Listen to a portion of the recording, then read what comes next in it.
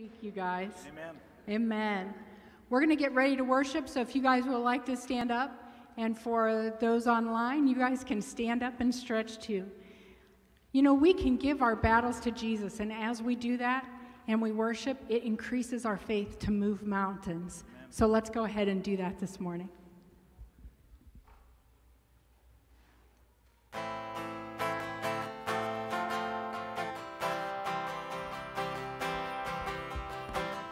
Guys put your hands together and help us worship.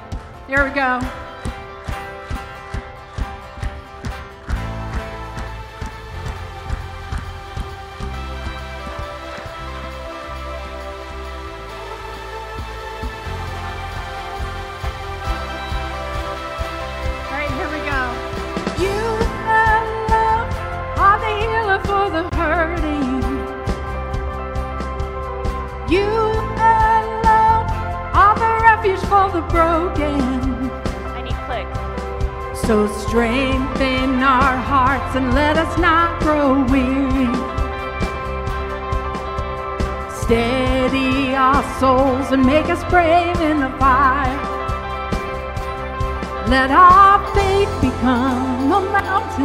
That will rise and never fall.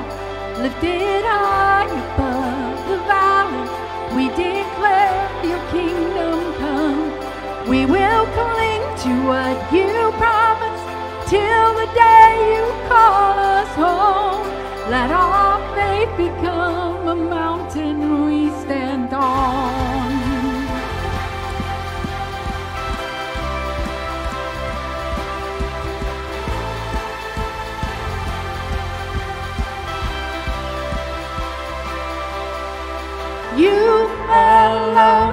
know the end and the beginning. You alone see a way when hope is fading. So strengthen our hearts and let us not grow weary. Steady our souls and make us brave in the fire. Let our faith become a mountain that will rise and never fall. Lifted high above the valley, we declare your kingdom come. We will cling to what you promised till the day you call us home. Let our faith become a mountain we stand on. We will stand unaffected by the chaos. No matter what the cost. No more worries, no more fear. Every doubt will disappear.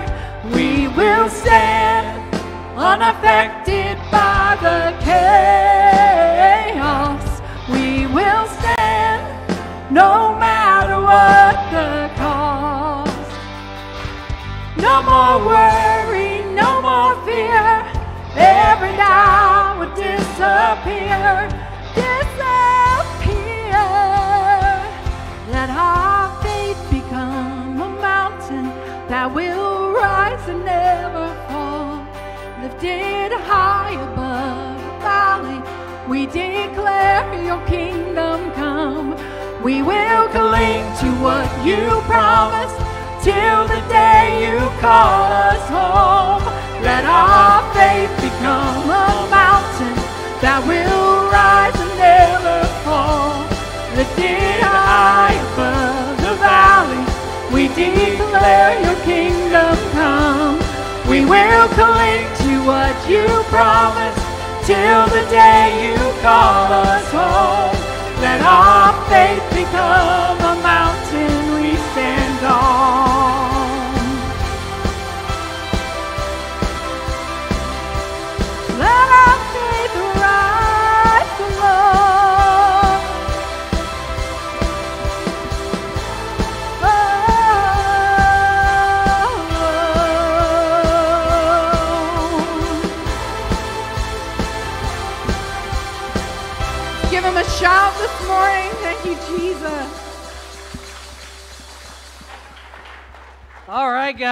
welcome, welcome. Hey, have a seat for a second while I just chat with you.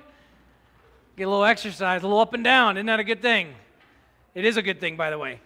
So glad you guys are here. Welcome to Community Life Church. I'm Pastor Gordon. It's just a joy to be able to gather, kind of not gather together, right? It's an awesome thing to be able to be here uh, with you. And those that are watching online, thank you so much for tuning in and being a part as best as you possibly can. Appreciate you being there. If you're new to us uh, for watching are you being in person here, please go on our website at Community Life Church, mycommunitylifechurch.org, and fill out the New Here card. We'd love to know that you were part of us today. Hey, we got something incredible happening this Saturday, August 22nd. Uh, Family Life is doing something known as a back, backpack blessing. Say that three times fast, huh? Backpack blessing. Such an incredible opportunity for us to be able to pray over our families, praying over teachers, praying over our communities as we get together uh, in individual time slots from 1 to 4 uh, out here in the front yard. And we're just going to pray over each other. Um, we were just kind of joking this week. We were talking about different activities we could do, do. And they said, you know what? We're not here to play, we're here to pray. And that's a powerful way to send our families into this new school year. So check out um, the website, check out our social media platforms, and you'll get some information there. Now, into this next song, uh, we love to give in a celebratory way where we give as we sing, give uh, as we worship in song, and our worship is also as we share the resources that God has provided for us. So here's an opportunity now in just a moment. If you're in house, you can come forward on the altars here and you can uh, get, put your gift right there. Your offering, your tithe. If you're watching online or even in house here, as I do, you can do text to uh, text to give. Uh, you can also go online and do reoccurring. Lots of ways to remain obedient in our giving. Now, hey, let's stand back up and let's worship with our words and worship with our sharing.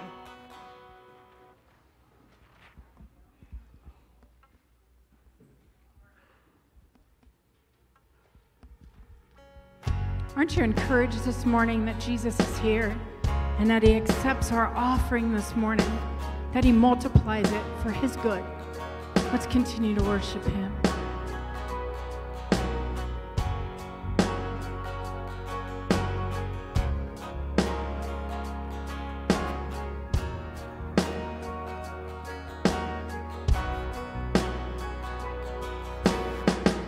slow down, take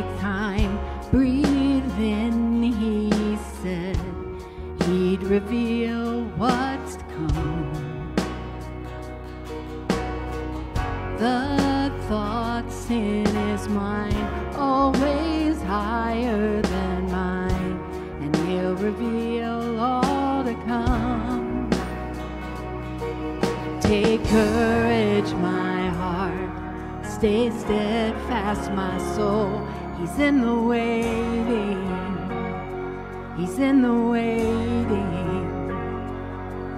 Hold on to your hope as your triumph unfolds. He's never failing. He's never failing.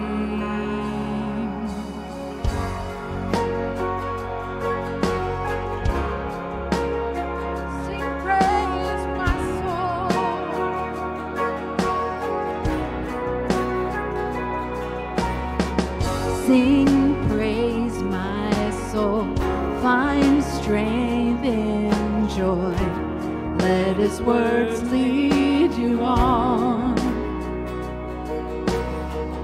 Do not forget his great faithfulness. He'll finish all he's begun. Take courage, my heart Stay steadfast, my soul. He's in the waiting. He's in the waiting. Hold on to your hope as your triumph unfolds. He's never failing. He's never failing. Take courage. Take courage, my heart. Stay steadfast, my soul. He's in the waiting. He's in the waiting. Hold on to your hope as your triumph unfolds. He's never failing. He's never failing. And you who hold the stars, who call them each by name, will surely keep your promise to me that I will rise in your victory. And you who hold the stars, who call them each by name, will surely keep your promise to me that I will rise in your victory.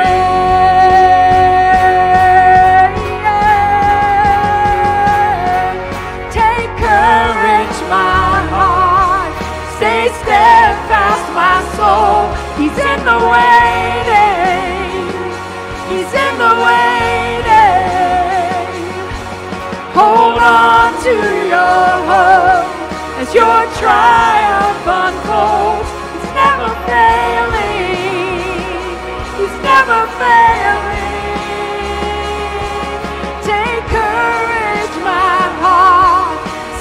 Steadfast, my soul. He's in the waiting. He's in the waiting. Hold on to your hope as your triumph unfolds. He's never failing. He's never failing.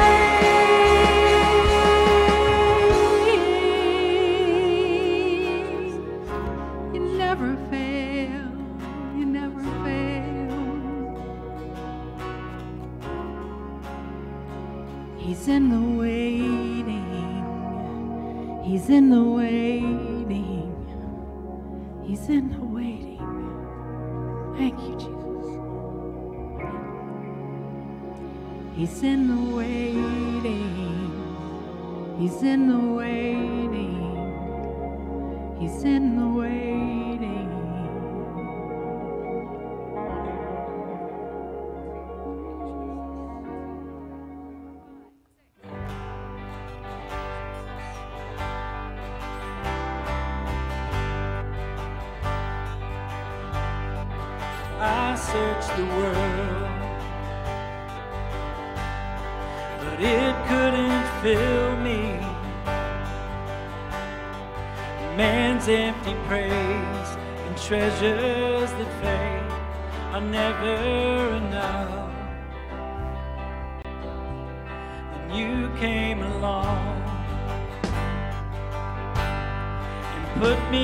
Back together.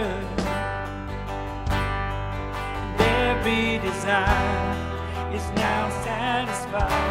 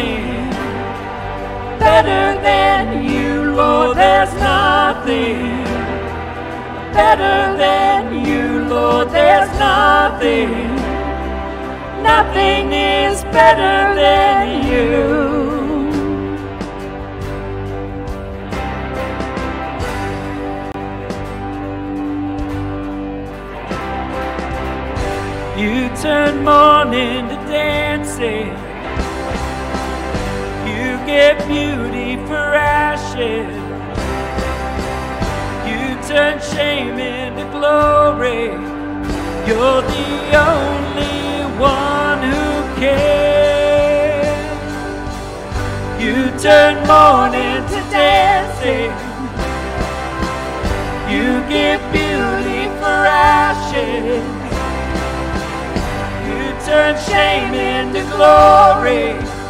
You're the only one who cares. You turn graves into gardens. You turn bones into armies. You turn seas into highways. You're the only one who cares. You're the only one who cares. Oh, there's nothing better than you. There's nothing that's better than you, Lord. There's nothing. Nothing is better than you. Oh, there's nothing better than you. Oh, there's nothing better than you, Lord. There's nothing, nothing is better than you.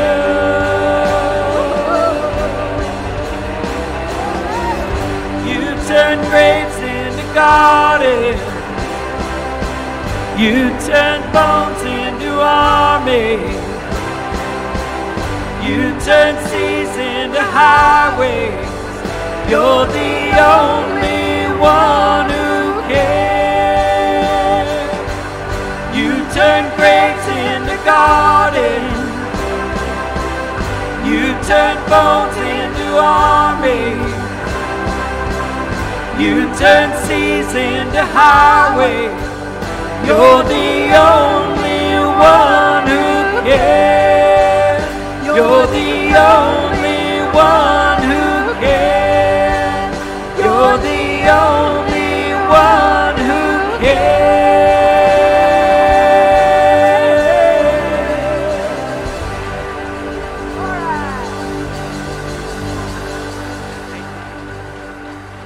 Lord, we are so humbled to be in your presence this morning. And the words of that song, church, we are in that time where we need God to turn the bones into armies. We are in chaos. The world, the news would have us to be afraid.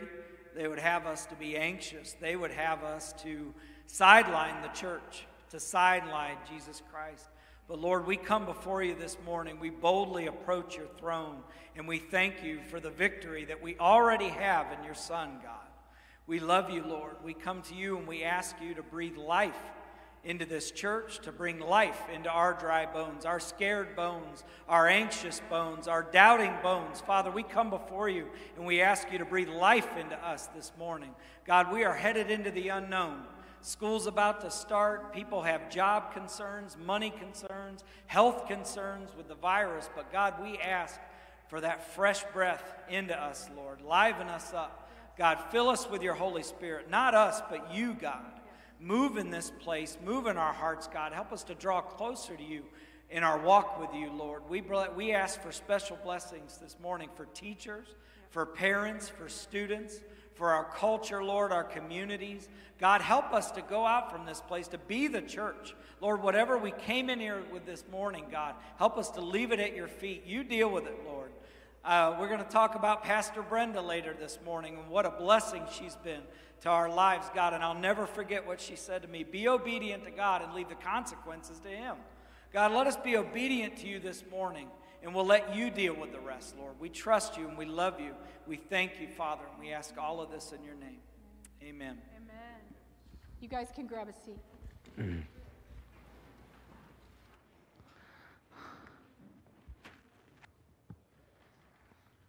Well, good morning, everybody. Man, here we are. You glad to be here today? Let me hear it. That's great. It's so great to be a part of God's family. It's so great to be a part of uh, being in, uh, in this place together. It's great to be able to kind of gather, not gather, right? Uh, so that's kind of a cool thing. Hey, so today we're going to be going through Ephesians chapter 4. I know that uh, there's six chapters in Ephesians. We've done one and two. And so for my melancholies, that means three comes next. Uh, but three is actually capitalizing on one and two and reinforcing that. So you probably read it. Thank you. Uh, this week, we're going to be talking about Ephesians chapter 4. And uh, so you can go ahead and get that ready in your Bible, your mobile device. Pull it up on your computer as you're watching, however you want to do it. Perfectly good. Let's talk just for a moment about last week. Last week, we talked about something uh, rather significant known as reconciliation. And I want to share with you briefly just kind of what God has done uh, for me in this past week with regards to reconciliation. And I'm hoping and I'm praying and I'm believing that somehow, some way, you have taken a step toward that idea, that concept of reconciliation. So last week we were we were talking, we were praying, doing the whole next steps, right? I was explaining that, and then we went to our last song. And at the end of the second service, during that last song, I sat over here, my little makeshift bullpen there, and uh, started praying. God, what would you have me do? What would you have me do in, in my situations? What would you have me do? And as I'm sitting there, I have my eyes closed and my head bowed, right? And we're, we're, we're praying, we're singing, and I and it real big and bold, the word still came to my mind. And then it just kind of like faded over to the word be. And it just simply, God reminded me to be still. And He said very clear to me, very clear to me, someone will contact you. And I said, and so I took a moment in my in my intelligence to educate my Father in heaven, to remind him, because maybe he wasn't paying attention, that you understand that somebody to come to me would mean that they would either have to be in this room or they would have to be intentionally watching online. God, did you know that? How often do you have to educate God on things you think He missed or things that you think He's not paying attention to? I bet a lot of people would say, God, did you? Hey, we got this thing down here called COVID. Are you paying attention? Right? We think that we need to educate God, so I educate God, and um, and he probably, I'm sure he's laughing. She's laughing, like, yes, Gordon. And so I said, You understand that? He goes, Yes, just be still. And so just after one o'clock, I received a text message. And it said, Thank you so much for the message. Thank you so much for your encouraging words and sharing your heart. It really meant so much. And then on Monday, I responded with, Hey, thanks for the encouragement. And almost immediately after that, I got a call. Reconciliation reconciliation, that process where we just pour ourselves out to God and say, how, we, how am I supposed to do this? And He tells me, I don't know about you, but He told me just to wait. And that started process. I gotta ask you, I gotta ask you a question. What about you? What happened this week to take you one step closer to the idea of reconciliation? And I want you to think through that. I want you to really truly think through what have you intentionally done to be able to help the process of reconciliation. I love what Matt prayed, you know, just be obedient to God and leave the consequences to him. I've heard Pastor Brenda say that so many times and it's so true. We just need to we just need to be obedient to God. And if he has asked you to do something, then you need to get that courage. You need to pray for that courage and boldness to go and do that reconciliation because it's so important. And it capitalizes onto today. Today, the title for today's message is just simply Better Together. We just do things better together. It, you know, many hands make light work. when people are all praying together, amazing things can happen. Not to say that the prayer of a few or one isn't powerful, it just means that when the church comes together, the world changes, man. And so the church needs to be the church as a real family. So we have talked in such a way over the past couple weeks of Ephesians chapter 1 and 2, and uh, 3 is kind of capitalizing on that as well. And we're going to be looking at our outline in just a minute. But understand this when we have community life, real, authentic, legitimate community life, not a church name, but an experience as a church family, we can stand strong together. You can stand strong in an amazing, phenomenal way. There's a lady that lives in the community. She's been here one time. She has a son who has uh, many uh, physical challenges. And so the one time that he was here, somebody had to go pick them up, help him into the chair, and get him in here. It was very, very challenging, but this person did this. We've stayed connected ever since. And she reached out to me this week and she said, Hey, do you know anybody that can, can do these things? And I put it out on Facebook. Is there anybody that knows how to, like, we got somebody that needs, like, a handyman she, she has funds to be able to pay, but we need somebody that will be willing to go over there and help and guide. And because she connected, even in a distance, for, to a community of some sort, she was able to get the help that she needed. Isn't that a wonderful thing? It's wonderful to be able to see how people come together, and we're seeing it more and more and more, where we're having conversations, or we're trying to have conversations, right? Where we're trying to come together to be the church. And when the church is the church, amazing things happen. Now, uh, outline for Ephesians, we've just spent two weeks talking about the wealth of the believer. Be, uh, we're wealthy because of our Father in heaven, because of forgiveness, and because of our family. We're, we're wealthy because of that. For the next two weeks, we're going to be focusing on specifically with regards to the walk of the believer. And, and uh, this is a beautiful, beautiful view of God's plan for redeeming people, all of Ephesians. Now, Ephesians, we know, is written by the Apostle Paul. He was in jail again, and, uh, and he's writing this. Either he wrote it out or he had somebody scribe it. But Paul's writing this, and we start off with the wealth of the believer. This is who you are in Christ. And now we're going to go on. Even in the very first verse of this portion of the letter, he even says, therefore, indicating that, listen, I have, tell, I have told you and shared with you what your wealth as a believer. Now, this is how you walk it out. All too often, people don't understand who they really are in Christ. When you have a father who has adopted you into a family, has unlimited resources, unlimited love, unlimited compassion, and unlimited capability, we need to act like it. You need to live like it. Stop emphasizing your weaknesses and start capitalizing on your strengths. Allow God to work through those things to do incredible things through your life. We are wealthy as believers, but now what do we do? Ephesians chapter 4, verse 1, the Apostle Paul goes into this and he says, Now therefore, you're wealthy. Now, how do we apply it? I, a prisoner of, for serving the Lord, beg you to lead a life worthy of your calling. Your calling as a believer. And there's different ways that plays out. But when you look at the fact that you're actually part of this family, this family of God, that's, that, that's a calling into his family. Like God draws you to himself. For you have been called by God. So you should live a life that is worthy of that. Live a life that is consistent with that. Live a life that honors your Father in heaven. It's not one of those situations that, well, I'm, I'm aware of it, but I just, you know, God and I have a deal. God and I have an understanding. What you know should impact how you grow. What you know should impact how you grow. It's not just hearing the word, but also doing the word.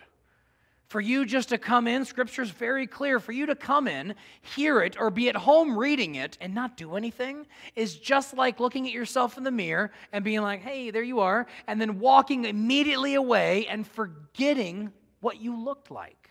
Seems ridiculous, right? So then why would we spend our time hearing the word if we're not going to do anything about it? Then just stop. Stop listening, stop reading, stop trying. You're not doing it anyway.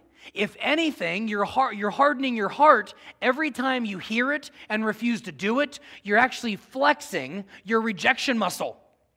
You're, you're, you're actually priming yourself to be able to say no easier.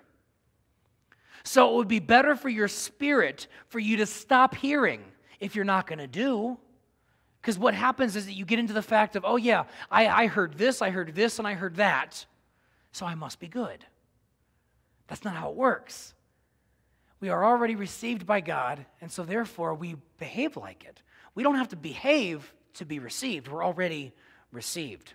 Now, this, uh, this section of, of Ephesians chapter 4 we're going to be talking about has to do with walking with believers. Basically, how do I get along with my siblings?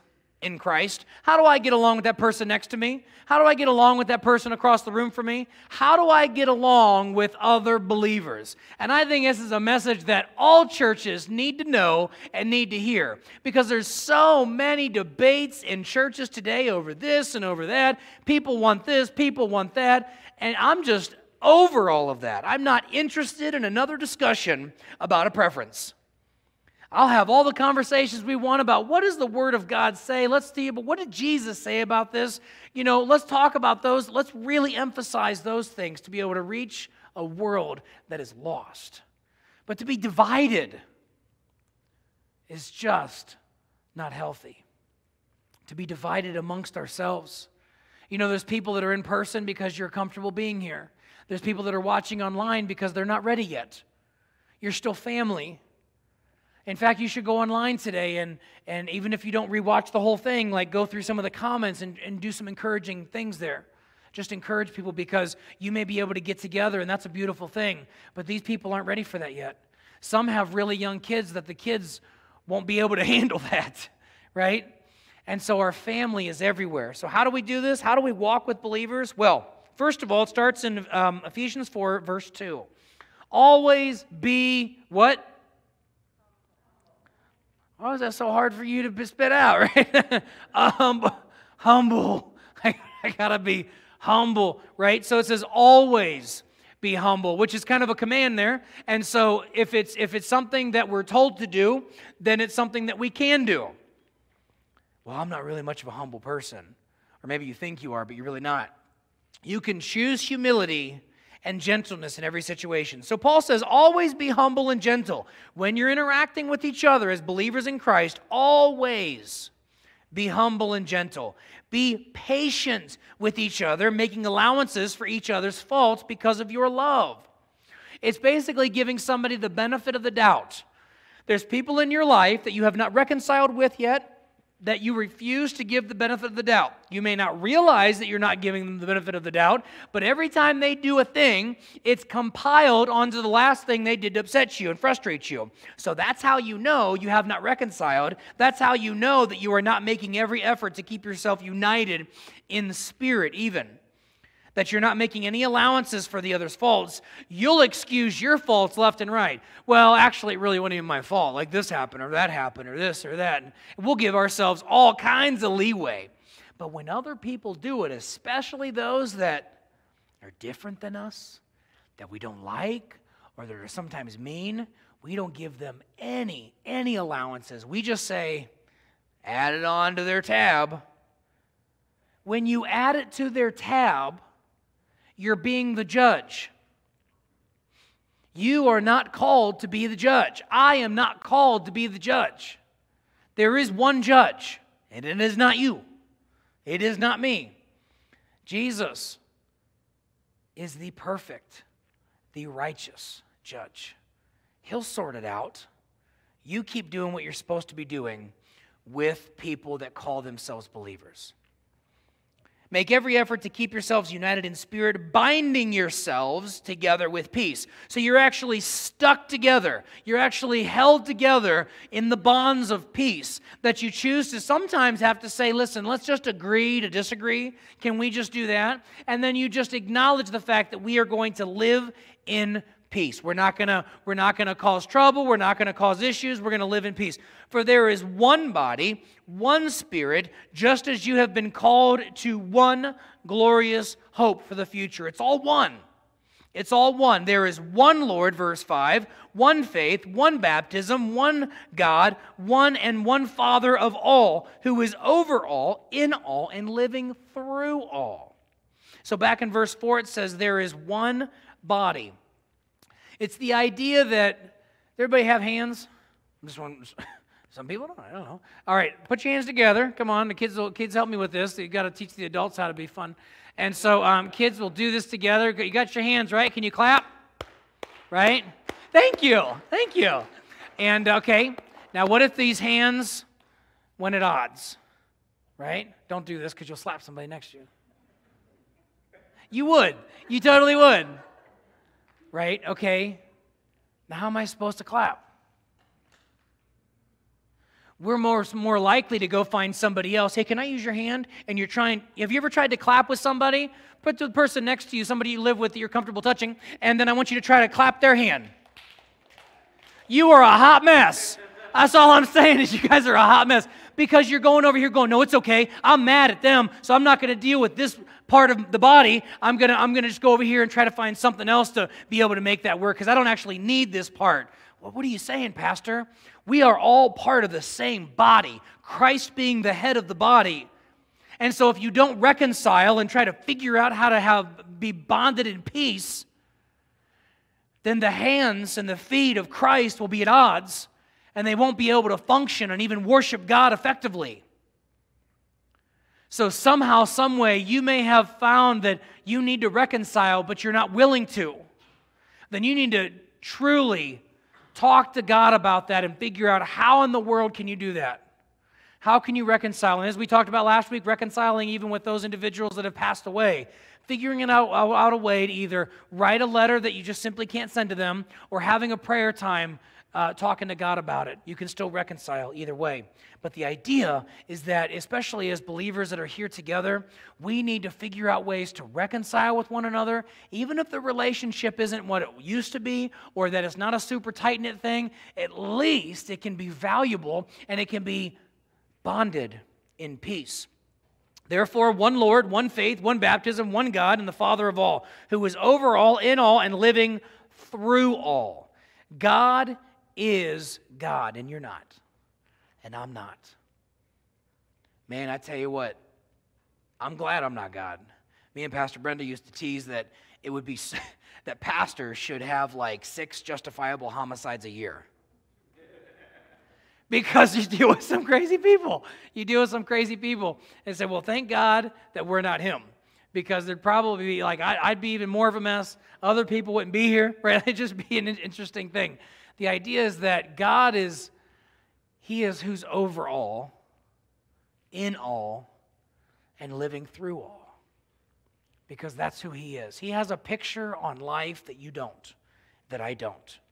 So then in, in, in verses uh, 7 through 11, they go through talking about the, um, the gifts that are given to the church. They talk about apostles, prophets, evangelists, pastors, teachers, and trying to, trying to explain listen, these, these individuals, these are gifts that God has given you to be able to do what? Well, in verse 12, it makes it very clear what is the purpose of these gifts? Their responsibility. Now, there is referring to apostles, the prophets, evangelists, pastors, and teachers. Their responsibility. So, you help uh, give you a, a, more of a glimpse into my responsibility. As a pastor, my responsibility to the church is this their responsibility is to equip. If you are not being equipped, I am not doing my job. If you are truly acting on, following next steps, doing, doing your part to grow and to get to that, my job is to equip God's people to do his work and to build up the church. Not the church locally, but the church globally, the church actually eternally, the church of Jesus Christ, to build up the church. It's not all about us right here on the corner of 532 and Curtis. We are part of a much bigger family of God. Now we gather in smaller numbers, we're able to get together and we get to know each other. That's a beautiful thing. But understand, you are truly part of the kingdom of God, which is also part of your wealth as a believer. So, my responsibility is to equip you. So, there's times now, and I'm kind of learning a little bit of this because God is shifting me, just like He's probably shifting you in this, in this new season of life, this season of living. And some, somebody might say to me, Hey, would you be willing to go visit so and so? What I want to start doing here is, and if I could I just be real with you, I want to ask you, have you visited them? I'm just asking. I'm not saying I'm unwilling. I'm just saying if I have eight people come to me and say, Will you visit this person? Now I have eight stops. But if every person that asks me to visit somebody actually takes the responsibility themselves as a follower of Christ to go and do that, then guess what? You are the hands and feet of Christ, just like I am. And my job is to equip you to do that. Now, that doesn't mean that from time to time I'm not going to stop by, that I won't have a prayer with somebody, that if in their passing moments that I won't be there. But you understand, you can do this. You can do this. You don't need me to be there with you. You've got the Son of God in spirit with you doing this. You can make it happen. Follower of Christ, you can. And I'm going to do everything I can moving forward to ensure that you have every opportunity to be equipped to do the work of God. You know, I have conversations with people from time to time, lots of people, and I appreciate you all so much asking, How are you doing? You doing okay? Everything going okay? I've even had people say that they're losing sleep over situations in my life. And I'm going, Am I doing something wrong? Am I doing something wrong? Because when I lay down to go to sleep, I lay down to go to sleep. Like, I, unless, unless the Lord Himself wakes me up to do something, uh, which doesn't always happen, or if I just have a moment of fear that I have to kind of pray away, but I just don't I just don't have all these worries and the weights. You know, so many pastors have taken the, the, the everybody from the congregation, right, the flock that they are shepherding, and all those weights rest upon the pastor. And then pastor after pastor falls into some sort of moral trouble or they get burnt out. And I say, man, I wonder, maybe I'm doing this pastor thing wrong because I'm enjoying it.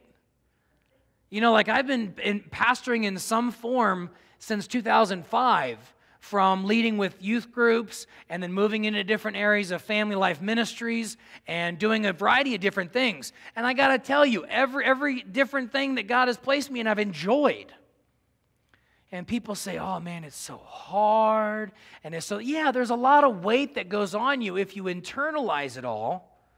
But I know my responsibility, and my responsibility is to empower you, not to entertain you. And so I want you to live your fullest life. It's a waste of our time for you to come here or watch online and then not be equipped. You'd be better off watching something else or something more entertaining or flashier, to be honest with you.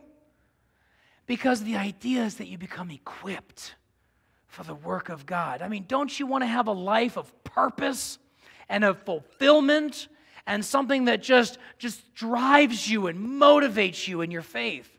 Something that when all this chaos surrounds us, you're not torn down by it.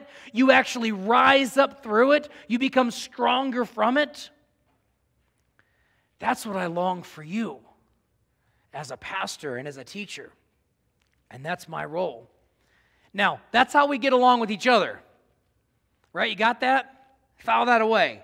So next time you have a moment, be, always be humble, always be gentle, always be patient with each other, giving allowances for their faults, because the person sitting next to you is it has faults.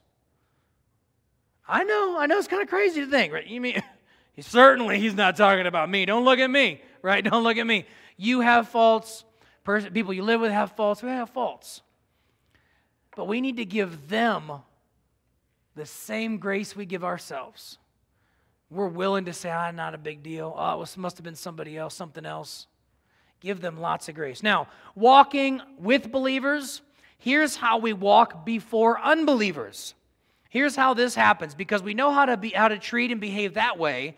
But what about somebody who's watching our lives and wondering what is this all about? Well, Paul says, "With the Lord's authority I say this: Live no longer as Gentiles do, for they are um, hopelessly confused. If you have been attending church or reading your Bible for 30 years, 40 years, whatever, and you find yourself in a constant state of confusion, I'm here to tell you something's wrong. Something is desperately wrong because you are still living as an unbeliever. That's what they're talking about with the whole idea of like, don't live like Gentiles any longer. We're talking about the idea of being unbelievers. Don't live like somebody who doesn't have the wealth of a believer. Live like somebody who does. Live like it, own it, Acknowledge it. Be confident in it. Me and my cousin Brian used to hang out a lot. We used to spend a lot of time together. And Brian, as the older he got, the more solid he got. It's like concrete drying, man. The more solid he got, and he was always at least two or three inches taller than me, I think. Or he's just a big dude, right? And and uh, and he wasn't blessed with the gift of gab. Fortunately, I was. And so we would go out to different places, and anytime I was with him, I just knew that I was going to be okay because people knew that he was with me and they weren't about to mess with him and they knew that he was my family and how we stuck together. And so I had the, I had uh, the privilege, the opportunity, the ignorance in mind to say things that I wouldn't normally say if I was by myself to people because I knew who I was with. Now, of course, that's kind of a silly example. But at the end of the day, have you ever been in that situation where you feel more confident when you're with certain people? You are with the God of the universe. Jesus, the one that conquered death, lives in you, believer. And the Spirit that guides you and that helps you. You need to live like that. And others can see that. So we don't want to be confused. Going on to verse 22. So throw off your old sinful nature and your former way of life, which is corrupted by lust and deception. There is no gray area there, man. We want to throw off that sinful nature and your former way of life, which is corrupted by lust and, and, deception. Instead, let the Spirit renew your thoughts and attitudes. Put on the new nature created to be like God. So here's the imagery that we got here. Um, whenever, whenever you'd go back to school, did anybody go shopping before you go back to school? Raise your hand. Let me see. Go shopping, right? And get some new kicks, right? You get some shoes. You get some some new tennis shoes, right? You get some new tennis shoes and, uh, and you get some new clothes. And something happened when you took it because you couldn't wear the old clothes, right? If you were the one that would go shopping and you'd put on the new clothes and you'd walk into school, right? And you'd have a little strut in your step. I don't know how to strut, but I would imagine it kind of look a little bit like this. And then you walk in there, and I use I would get shoes, and I get white shoes. That's the dumbest thing they ever created in the world is white shoes. That's why I wear black shoes now. And I got white shoes on, and, and, and it didn't matter. I would wear them for 15 seconds, and then my shoes were looking for a scuff. They were like, we cannot be this white. We need to be scuffed up. And so I would get a little scuff. My shoes would get dirty, and I would sit at home with a toothbrush. I am not kidding you. This, is, this was what I did as a kid. I didn't have many friends, apparently. And I would brush my my shoe with a toothbrush, not mine, it was an extra one, and I would br- brush it with like some bleach or whatever, and I'd get it real shiny. Ooh, that looks so good. And um, the idea is that I, I wouldn't put those new clothes over old clothes. Especially now in our day and age, we've got healthcare workers that are going home and they're like stripping down in their garage, and then they're going directly into the shower and they're cleaning completely and they're removing those clothes and they're gone and they're putting on brand new stuff. They don't hold on to any of it because they don't want to contaminate anybody that they are around or that they're living with. The same is true, believer, with those of us who claim the name of Jesus. We are supposed to remove our sinful nature and put it aside altogether. And we put on this new nature, which is brand new, fit for us specifically. We are not to hold on to that. Well, you know what? I do like those old shoes, or I like those old socks, or I like these are just comfortable shorts. And no, no, all that old stuff needs to go away, and something new is created inside of you. That's the imagery where the old thing is taken off and a new thing is put off. And, and it's created to be like God truly righteous and holy. Truly righteous and holy. That is your calling as a believer in Christ to be truly righteous and holy. We were dead, and now we are alive. That's the difference light and dark. The dramatic difference. And there should be a difference in your life. There should be such a difference in your life. It may not be an overnight thing, and it most likely won't be. But there should be a point in time where people look and go, man, you're, you're different. You're different. You're not like I remember you. That should empower you. Believe it or not, I've actually had people say to me, I liked it better when you were drinking. I've had people say that to me. It's been many years, but I've had people actually say, I really, I just, I don't like this. And really, what people are saying when that happens is that they're feeling a level of conviction too. And they're going, well, maybe I should be different. Maybe I should follow Jesus in my life. But they're not interested in taking off the old nature and putting on the new. They just want to keep doing what they've always done.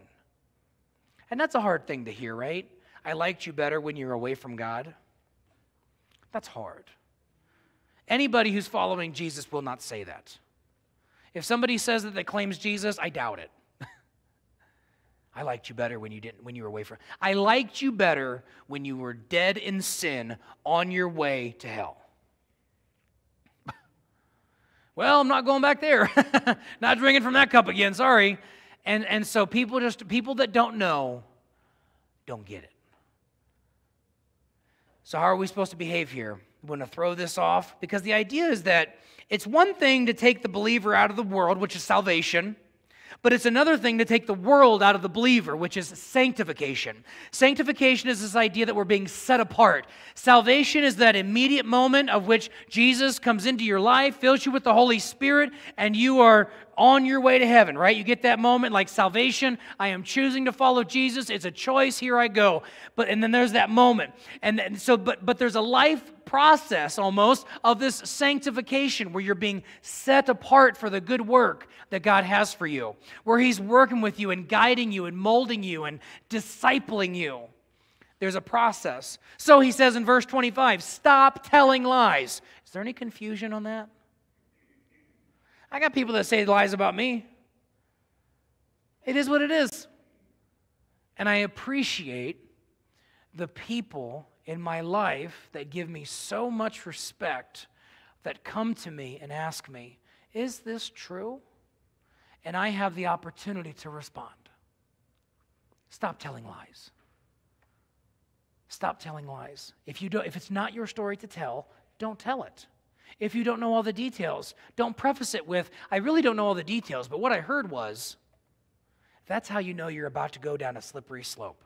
And as a follower of Christ, we are not called to do that. Stop telling lies. Let us tell our neighbors the truth, for we are all parts of the same body. And don't sin by letting anger control you, which means you can be angry without letting it control you. Don't let the sun go down on it while you're still angry, for anger gives a foothold to the devil. What does this mean as, as an imagery? Uh, the idea is that when you get mad, now track with me for a minute. When you get mad, do you or do you not think of things you would never do? Come on, you pictured yourself with that baseball bat, right? You pictured yourself flooring the gas. You pictured, I'm just being real, you pictured something it went in your mind. Now, whether that was your thought or the devil's thought, I'm not, I'm not blaming or shaming. I'm keeping us accountable and equipping us. You had a thought in your anger, and some people that acted out in their anger did punch that wall, broke their hand. Some people that did act out in anger did do things they shouldn't have done. We call it road rage. So think about this your anger invites things into your mind and your heart and your spirit that you should never do. So, as soon as that moment happens, right, if you do not handle it, don't let the sun go down on while you're still angry, for anger gives a foothold to the devil. Meaning that when you get angry and you start entertaining those thoughts, there's a door to your soul that kind of opens up. The devil puts his foot uh, in that door because he's trying to get in, and he's been trying to get in, believer, uh, since the moment you declared Jesus as your Lord. He's been trying to get back into that process and trying to keep you away from that. So he puts his foot in the door, and if you don't deal with the foot in the door, the door stays open and could eventually open more and more and more to where you give full permission to the destructive elements of the devil in your life. Because, and it all goes back to reconciliation. Because when you get mad at somebody, you got to offer forgiveness and you got to figure out how to reconcile those moments. If you're a thief, quit stealing. Easy enough, right? If you're a thief, quit stealing. Instead, use your hands for good, for good hard work and give and then give generously to others in need. Don't use foul or abusive language. Let everything you say be good and helpful so that your words will be an encouragement to those who hear them. This is that time where you're sitting at a coffee shop and you're having a conversation, or you're sitting anywhere having a sandwich, and you start sharing stories. And you're with a safe person, two, two Christians, two believers, two followers of the way, who are talking, and all of a sudden you think it's safe enough to share kind of an, kind of an off color joke, so to speak, or something that you wouldn't share in front of a group of people, or you're trying to hide it, but you're trying to share it because that's actually part of your old nature you're trying to put back on a little bit of and then you share it. And i and i have been so guilty of this where i don't i don't typically uh, share the, the joke. I'm not, not aware of the last time i've ever done that but I, I do have a very hard time of kind of shutting that down. And so somebody will say it i'll kind of laugh and joke it off and move on. Whereas believers our words should be encouraging to each other and to those who hear it so that they understand that there's something different about us Truly, we make, we make bad choices, we mess up. This is not a shaming thing, this is an accountability thing. When we speak, we should speak life. We should not speak anything that is, that is uh, foul or abusive in any of our language. We should be a blessing to those who are around us, constantly encouraging the family of God. And then those who are amongst us, who are not believers yet, will hear it, and they'll be a blessing to it. And do not bring sorrow to God's Holy Spirit uh, by the way you live. Remember, He has identified you as, as His own, guaranteeing that you will be saved on the day of redemption.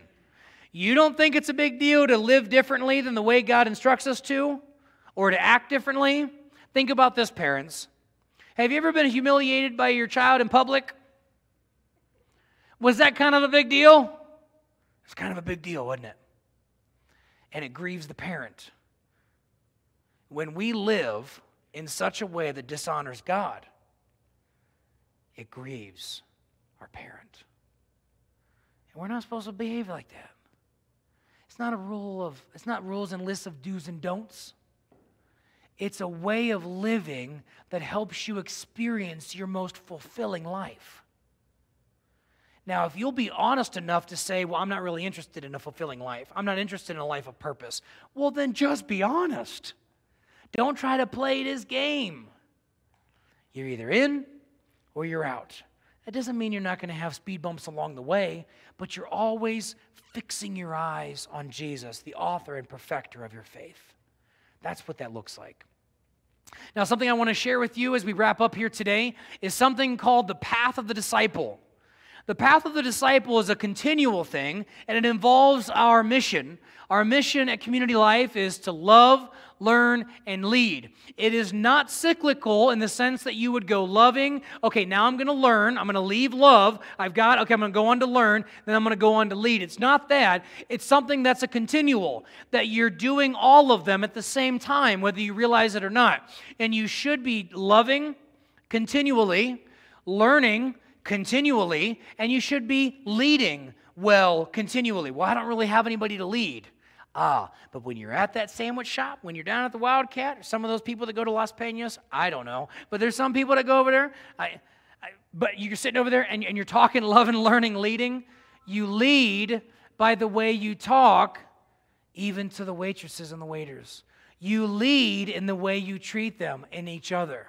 You're always, believer, you're always doing it somehow. You're either loving well or not, learning well or not, and leading well or not, all at the same time.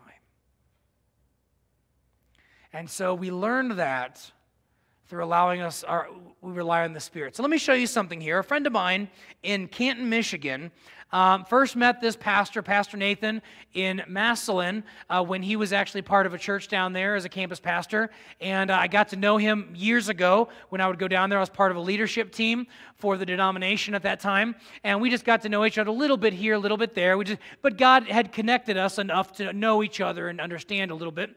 And so he had been working on something I had no idea about over for the past decade, greater than the decade, maybe about uh, 11 years even. He had been working on this um, life journey map. And this is something that he has entrusted to me to be able to use and also entrusted to anybody that wants it. He just gives it freely. He has not branded this thing with anything from the church he serves at because he wants everybody to be able to use it and grow from it.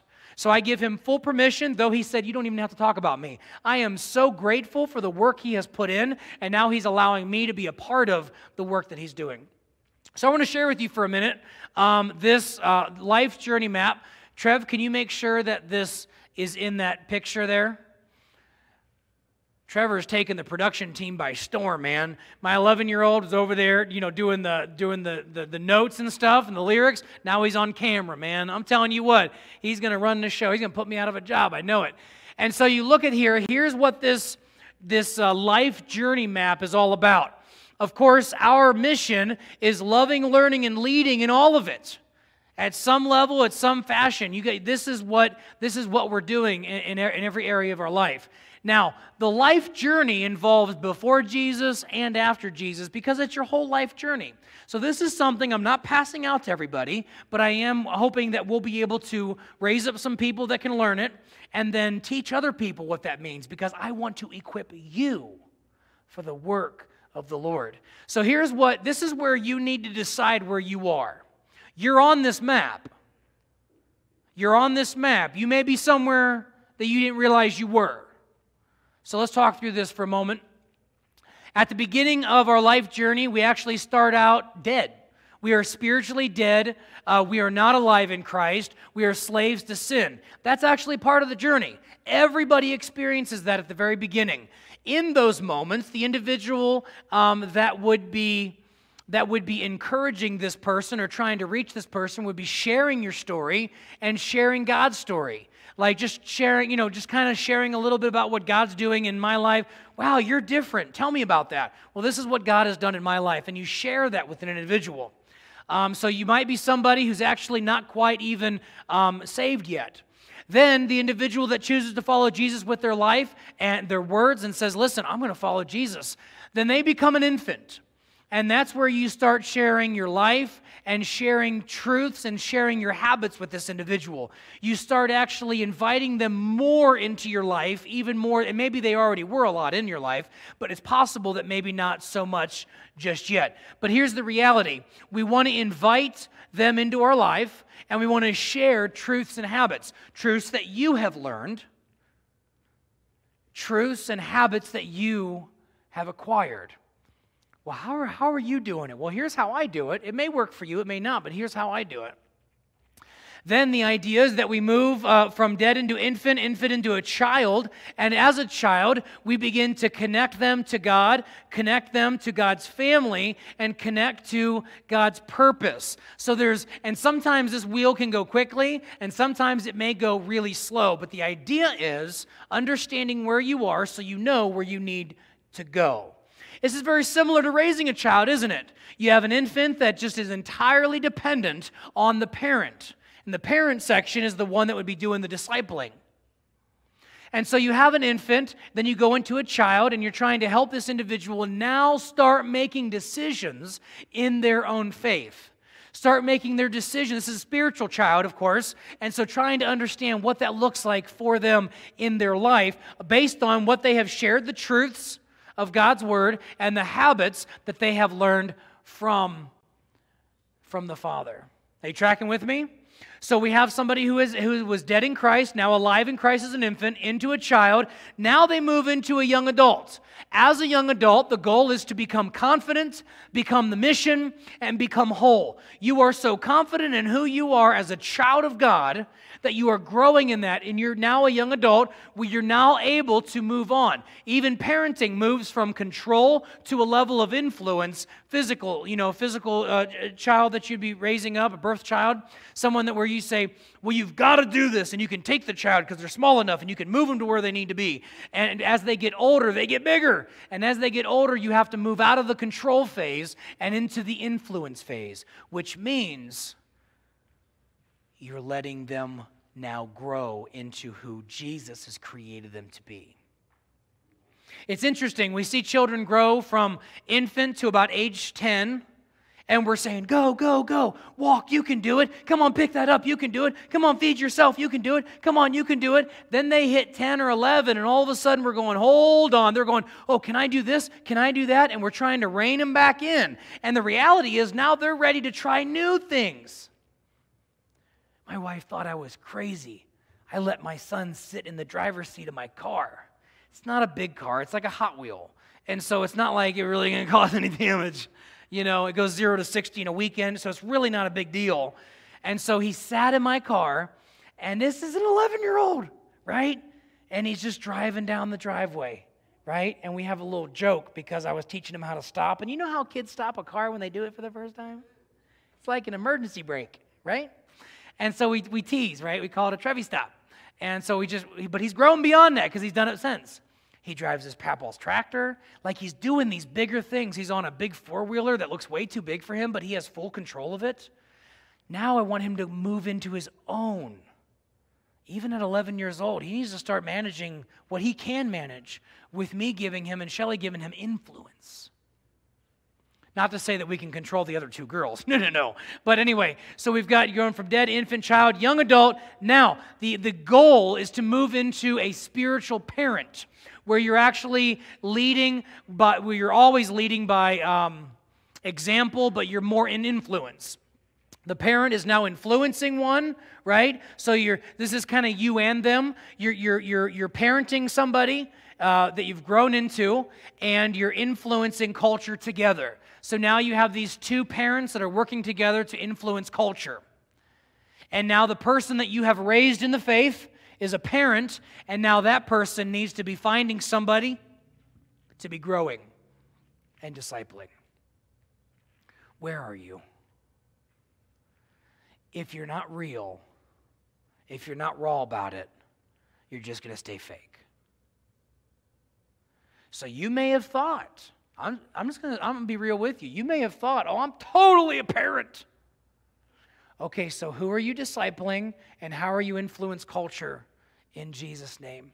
Oh, well, maybe I'm a young adult. Okay, so that means because you're becoming confident in who you are in Christ, becoming the mission, you're actually reaching and, and, and you're doing and you're giving and you're blessing and, and you're becoming whole.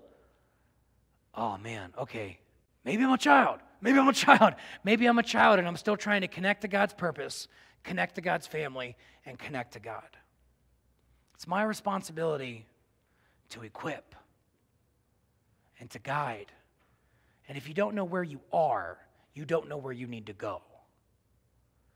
And so be on the lookout for this discipleship of the, the path of the disciple, because it's something that's going to just characterize community life as we come together and we're a blessing to each other. Listen, we can grow together. We can grow together. We're going to be on different wavelengths, we're going to be on different paths perhaps, but we can grow together. That's the whole big idea for today. Is that we can actually grow together. I'm going to grow at my pace, you're going to grow at your pace. In some cases, sometimes people pass somebody. And you know what? That's not a shaming thing. That's just reality. So here's our next steps. Here's how we're going to process this. Where do you need to grow in your in your life? Think about it. Where do you need to grow? If you're having if you're having uh, trouble being obedient in your giving, and maybe it's a budgetary problem. So then you reach out to somebody to help manage your, your budget to be able to work through those details. And so you need to work through that. Maybe you're, maybe you're, you know what, in this season right now where we are, where you need to grow is try to figure out how to manage all the things that the world is throwing at you right now. Because you had a full time job and a full time life. Now some are being full time teachers. And the full time teachers are now being in class te- room teachers and online teachers. Man, how do I grow to where I need to be? you know what? You need to find out where you need to grow. And then I want to encourage you to find one or two people in your life uh, to bring them into that area of your faith journey. That person may give you such great advice in that area, and you don't want to pass that up. Let me just pray for you and pray for me as, as we wrap up here today on what this looks like. Don't just hear it, do it. Heavenly Father, we've just heard your word. Thank you for this letter that Paul wrote uh, to uh, be a blessing to the Ephesians and a challenge as well. I pray that what we have heard in the name of Jesus, that it'll be locked into our minds, bodies, and spirits as we go forth. Help us to truly be the church in the name of Jesus. Amen. Thank you as we've been walking through this series. I'm enjoying this. I hope that this has been a blessing to you guys. Um, as we get ready to leave here, one quick thing that I want to share with you. Uh, many of you know Pastor Brenda Young. Uh, she's the senior pastor of Cornerstone Church. Uh, many of us have known, loved, been grown, raised, mentored by her. Well, next Sunday, August 23rd, is her last uh, Sunday as the senior pastor of Cornerstone Church. She is officially retiring. And the following week, on the 30th, there'll be an installment of Pastor Jacob and he'll be the new senior pastor. They've been kind of co-sharing that from my understanding and just, you know, moving together. And so we want to be a blessing. We truly as a church family want to be a blessing to Pastor Brenda. So there's two things we're going to do. On your way out the front door, um, there's going to be a tall table out there with cards, handmade, beautiful cards. And I want you to grab one or two, and I want you to write a note in it. You can share a memory, or you can just simply sign it, however you want to do it, but, but do it. Then bring it back to us by next week, so that way we can then mail it. The reason why we're asking to mail it ourselves is because we want to do like a trickle a little trickle for her. Now, if you're watching online, you're not in house and you can't pick up those cards, totally understandable. Grab a card from around your house, or if you need us to uh, give you one, you could probably stop by during the week. We could figure that out, um, but we can get you those cards. Or if you really want to mail it yourself, that's fine. You can mail it yourself, but we're willing to do that for you. And we want to bless her, um, you know, on the 23rd and beyond uh, with the, kind of a card parade. A little bit of a card parade, so that'll be fun. Now, in, in addition to that, we're going to we're going to really want to be a blessing to her where her passion lies. And you know, back in uh, 20, uh, 2007, the, the message that I heard was in 2006. It was a beautiful message about how people need life giving water in the world. We know it as Clear Blue, Clear Blue Water Project. And so in 2007, Clear Blue actually became an organization that collected funds and was able to drill wells all over the world. It's been a phenomenal thing. Well, we want to be a blessing and we want to give a, a full well of at least $1,500 in Pastor Brenda's name to Clear Blue. I believe there are people here that could even sponsor that entire well. I don't care how much we gather, we're going to give everything we gather uh, for Clear Blue in honor of Pastor Brenda, and we're going to give it to uh, Clear Blue and make sure that they're able to do uh, what they have been called to do. That's how we can bless our brothers and our sisters. And I want to invite you to do that with me, will you? Let's make sure that we make this week a great week of blessing for her as she retires. Now, will you please stand and receive the blessing of the Lord? As we head out here today, don't forget Saturday, backpack blessings. Check out our website or social media for more information. Now, receive God's blessing. May the Lord bless you and keep you. May the Lord shine his face upon you and be gracious to you. May he turn his face toward you and give you peace. Now go and be the church.